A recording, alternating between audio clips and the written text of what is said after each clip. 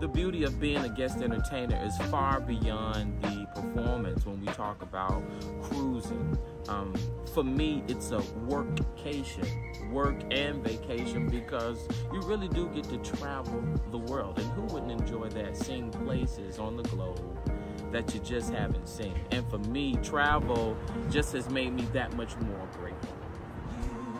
Come fly with me, let's take off in the blue. Once I get you up there, where the air is rarefied, we'll just glide.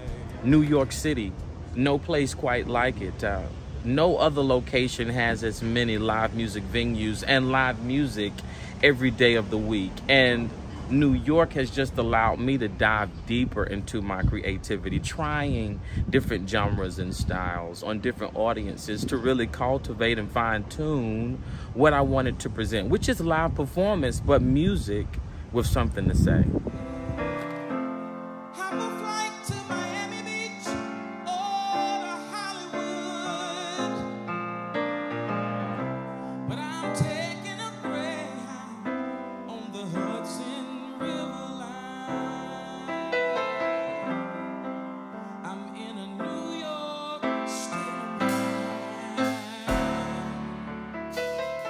Live entertainment.